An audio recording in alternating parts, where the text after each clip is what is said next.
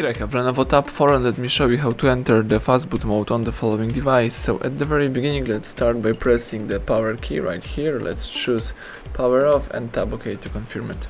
Wait until your device will be completely switched off.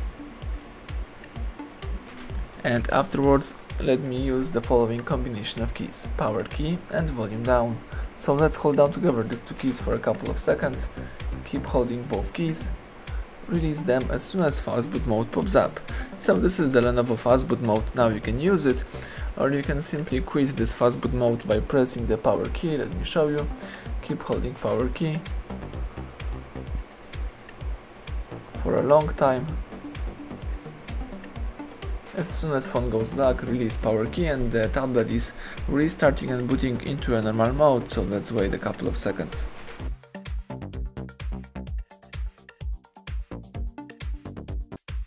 Excellent, the device is in normal mode so everything went well, thank you for watching, please subscribe our channel, leave thumbs up under the video.